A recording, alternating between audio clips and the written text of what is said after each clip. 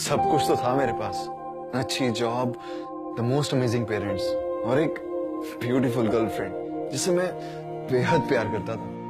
लेकिन शायद उसे मेरा प्यार कभी पूरा ही नहीं पड़ा। लेटर आई फाउंड आउट बदले की आग में जी रहा था। और उस दिन के बाद मेरी ज़िंदगी रेत की तरह फिसलने लगी। ज़िंदगी यू टर्न एक नई शुरुआत। Start twenty third August seven AM on zinc